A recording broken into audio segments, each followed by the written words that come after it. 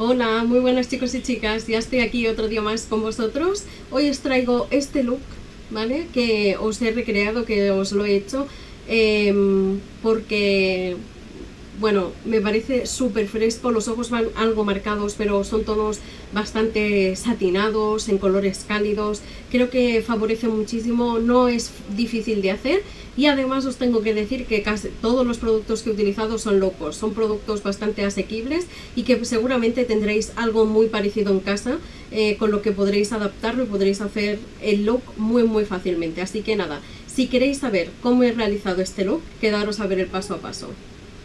Pues vamos a empezar con el look de ojos. Eh, voy a empezar aplicando como siempre una prebase para sombras.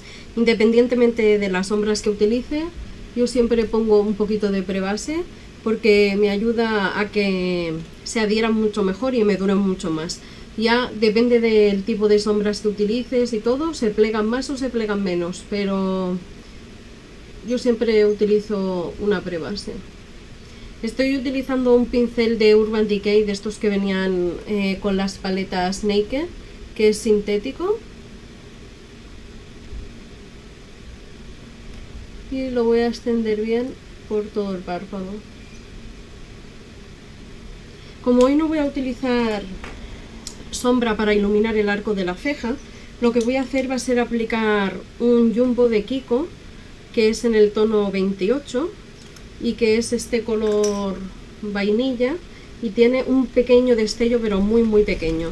Entonces lo que voy a hacer es que como son muy cremosos y para no aplicar directamente esta, todo este color voy a depositar un poco así en el dorso de la mano y voy a ir cogiendo con el otro lado del pincel que es plano. Y así lo puedo ir extendiendo un poquito. Me cancela también un poquito la rojez que tengo en esa parte de ahí porque eh, me estuve arreglando un poquito las cejas y me quedó un poquito de rojez y lo puedo ir trabajando también con el dedo para que se vaya fundiendo. Pero si voy aplicando con el pincel me da más precisión y puedo llegar más a perfilar la ceja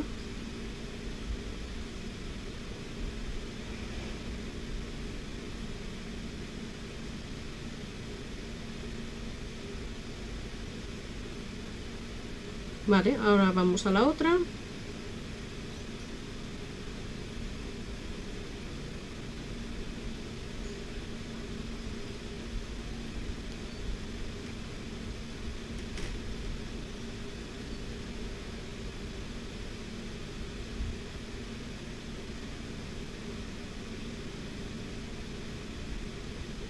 y lo bajo justo hasta la cuenca que se funda bien y luego este producto una vez seca eh, se queda muy bien adherido y nos va a dar muchísima duración. Vale, lo primero de todo que voy a hacer va a ser eh, coger un pincel para difuminar. A ver. Tipo este de aquí que es bien abierto, el 227 de Zoeva. Que ya veis que tiene el pelo bastante suelto. voy a utilizar esta sombra que es la Latte de Makeup Geek Makeup Geek Latte Shadow. En realidad he querido coger una sombra que, que pues como transición un poquito más oscura para dar un poco de profundidad al ojo. Pero podéis coger cualquier sombra que tengáis vosotros en casa. Un color así tostadito, cualquiera vale. Ya veis que tampoco no voy a dar mucho color ni nada, simplemente es para dar un poquito de definición y ya está.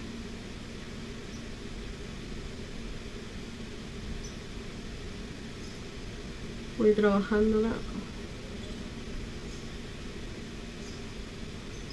por la parte exterior y en vaivén hacia adentro.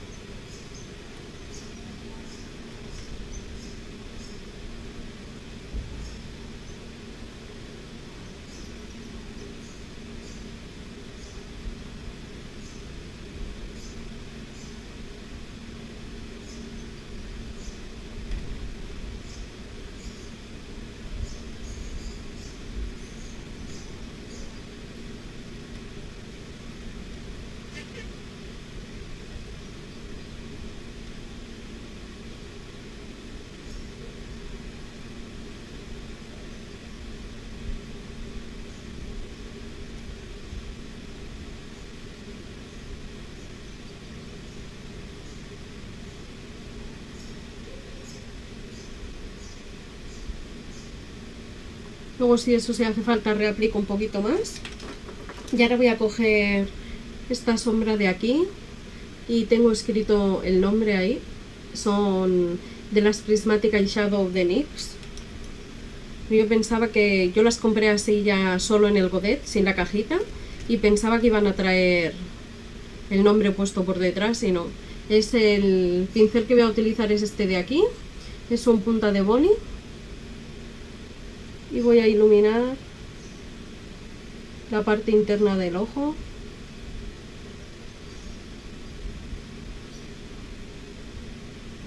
Eh, mirar cómo pigmenta una pasada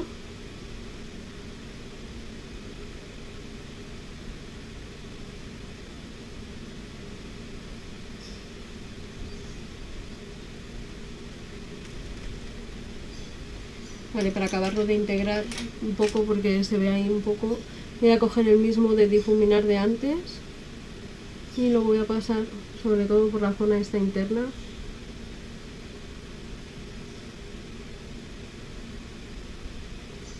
Los bordes para que se junte con la parte de arriba.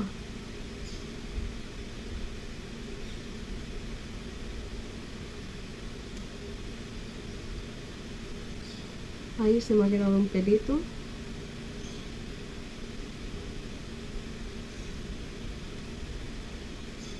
Vale. Ahora voy a coger esta sombra de aquí. Vale. Estos colores para verano me encantan. Y esta se llama Golden Peach también de las Prismatic Eyeshadows de, de NYX. Voy a coger un pincel para aplicar sombras plano este también es de Zoeva y es el 234. Y voy a coger, ¿veis? La sombra solo por un lado y voy a ir aplicándolo en el párpado.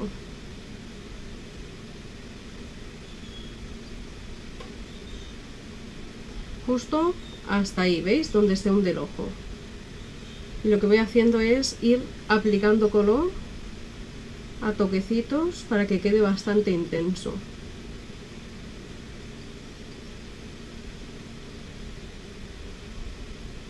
Vamos a ir haciendo lo mismo en el otro ojo.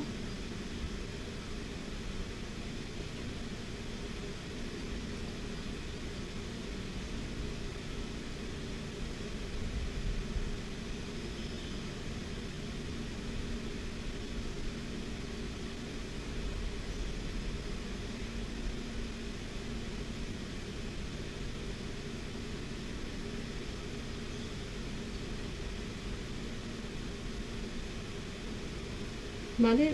Voy a coger el pincel con el que he puesto la sombra oscura antes, pero sin coger más producto y simplemente lo voy a pasar por el corte para que se integren bien los dos colores.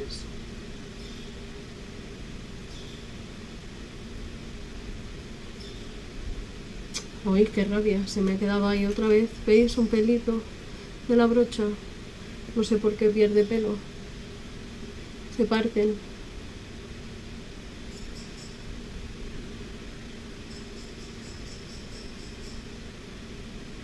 Vale, ya estaría. Ahora voy a coger un lápiz para los ojos. Y lo que voy a hacer es eh, perfilar, voy a hacer como un, delineado pero difuminado alrededor del ojo. Y para ello voy a utilizar este lápiz en el tono brown de NYX y aquí pone, veis que es waterproof. Y es el tono brown. Y es de estos que son retráctiles. Y la verdad que me ha sorprendido mucho porque es muy pigmentado bueno, ahí lo veis, ¿no?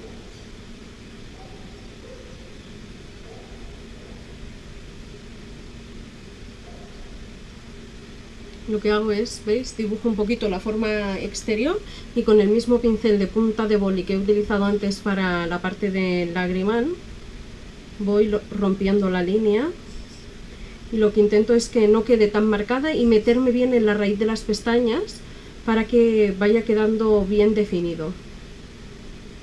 A ver, perdonadme un momentito que llevo lentillas y entre el ventilador y todo me está molestando un poquito.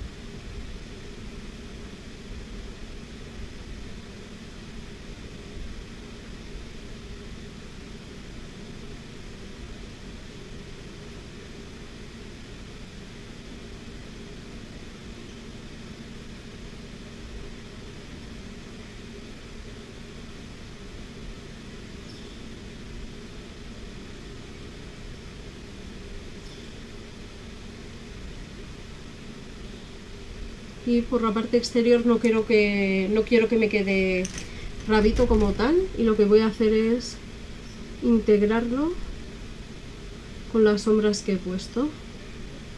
Sí que quiero que haga un poquito así pero que no se note una línea definida.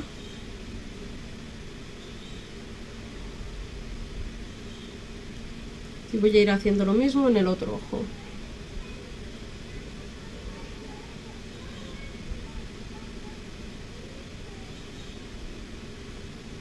Creo que esta es de las opciones más sencillas y que el ojo queda más bonito cuando no te quieres hacer un delineado y quieres marcártelo un poco, porque no tienes que hacer un trazo perfecto ni súper preciso, sino que basta con poner un poco de lápiz y luego ir emborronándolo.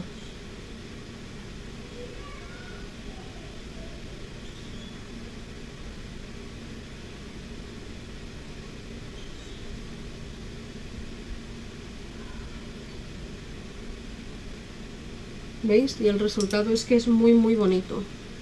Y lo de aquí fuera lo voy subiendo hacia arriba. Me ayuda también al mismo tiempo a depositarlo en la parte más externa y me da profundidad al ojo como la sombra que he puesto.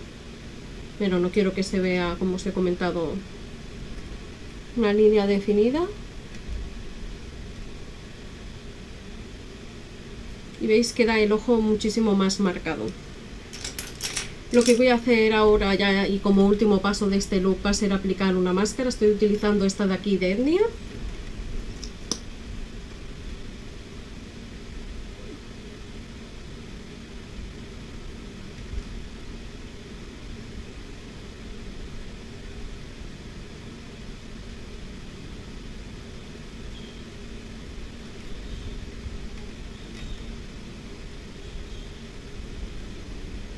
Mirar qué super pestañas de diferencia de un ojo a otro.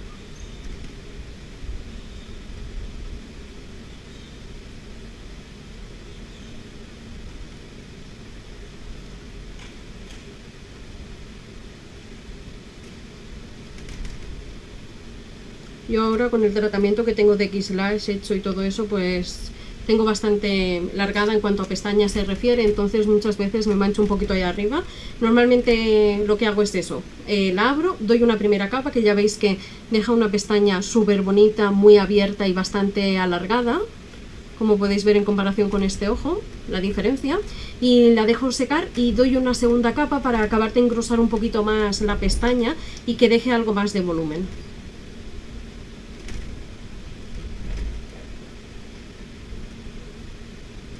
Pero este es el tipo de máscara que a mí me gusta muchísimo porque deja una pestaña muy muy potente.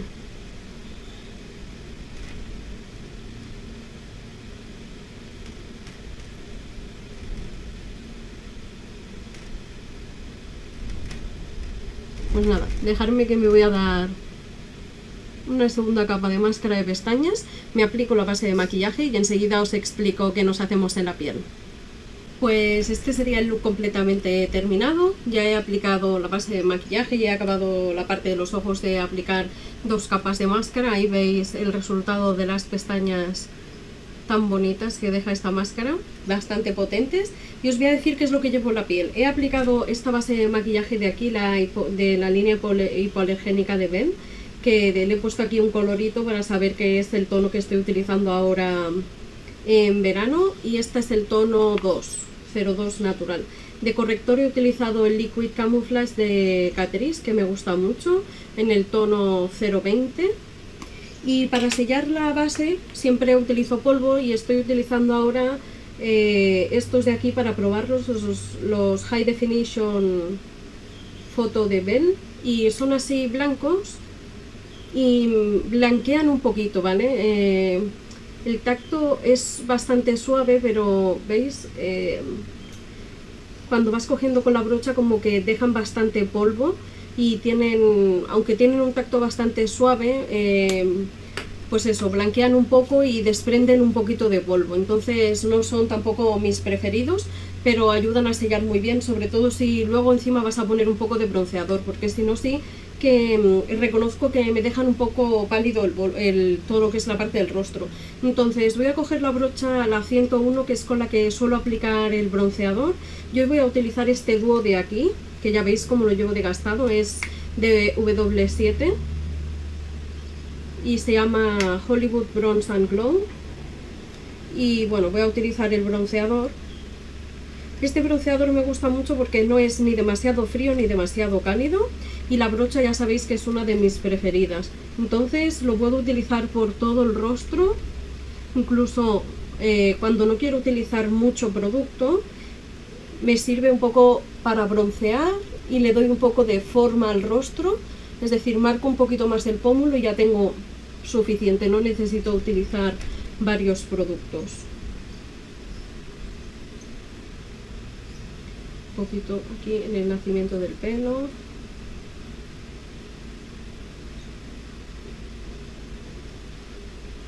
más que nada para darle un poquito más de forma al rostro, para marcar un poquito más el hueso de la mandíbula y para quitarme un poco el blanco que me han dejado los polvos. ¿Veis? Cuando quiero aplicar con más precisión en un sitio, aplico siempre con la punta y luego aprieto un poquito más y van difuminando todas las fibras que hay alrededor.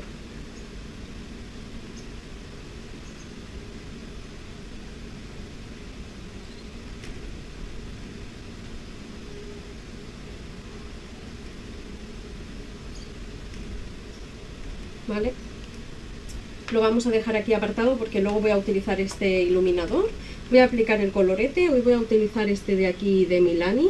Es un tono bastante subido, es el 08 Coralina. Tiene un punto así anaranjado rojizo. Y me gusta mucho más para utilizarlo en verano.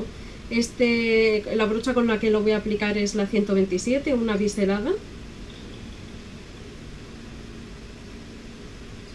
Cojo producto, ya veis que es bastante pigmentado, así que a la hora de aplicarlo, rozando prácticamente la piel pero sin depositar demasiado producto.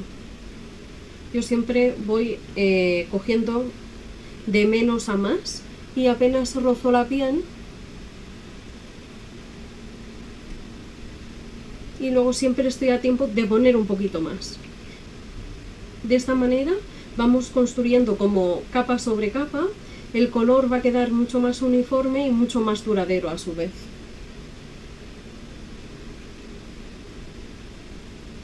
Cuando ya lo tenemos aplicado, incluso si lo queremos difuminar un poquito más, sobre todo por la parte central, con la misma que hemos aplicado el bronceador, la pasaría un poco por los contornos.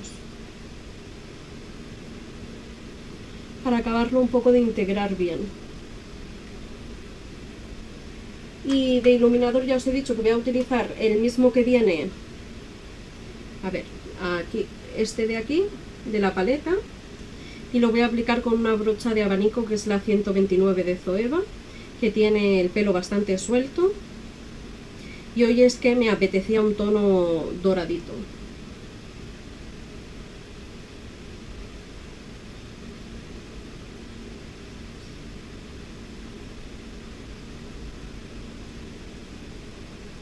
Este iluminador me gusta muchísimo para diario, eh, se ve pero no es demasiado exagerado, con lo que es muy fácil trabajarlo, ir construyendo el color.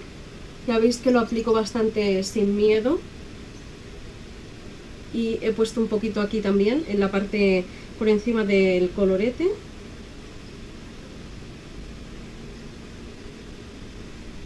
Y ahora lo voy a acabar de integrar con la misma brocha del colorete de antes para que deje un aspecto más satinado incluso sobre la mejilla.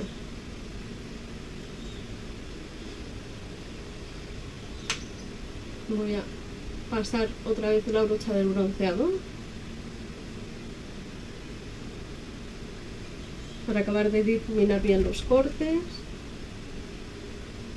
Ya veis que entre paso y paso no cojo productos sobre esta brocha, sino que la utilizo un poco para acabar de integrar y difuminar bien las cosas, pero no he vuelto a coger producto con esta brocha. Sí que voy a coger un poquito de iluminador y lo voy a aplicar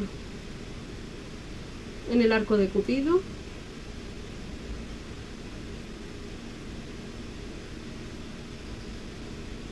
¿Vale? Y ahora eh, lo que voy a utilizar va a ser, a ver, ¿dónde tengo aquí el pincel? Un pincelito para labios, este es de Vidilium Tools, ahí veis el número 540 y voy a utilizar un naranja para los labios, pero os lo tengo que enseñar en esta paleta que tengo. Es de los de Wet n Wild, de los Megalast y se llama Purty Persimmon, ¿vale? Está aquí escrito, pero igualmente os lo dejaré escrito en la cajita de información. Es un rojo con un punto más naranja. No voy a utilizar ni siquiera perfilador,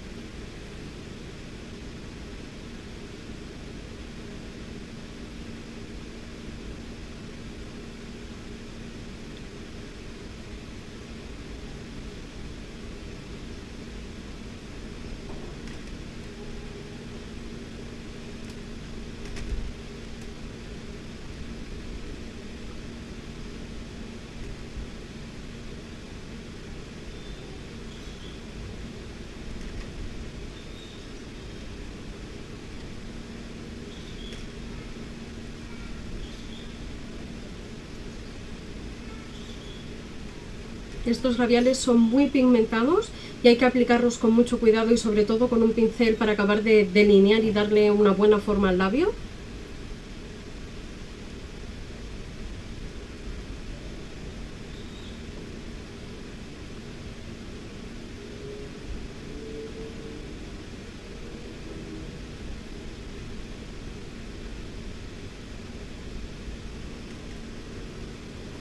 Lo que sí que voy a hacer es quitar un poquito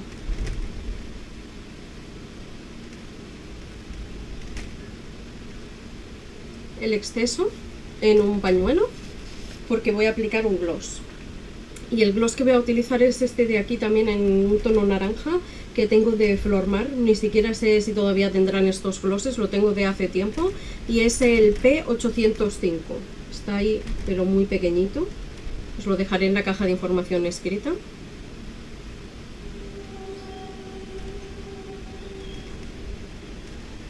y es un naranja un poquito más vibrante que el labial y tiene ese reflejo dorado.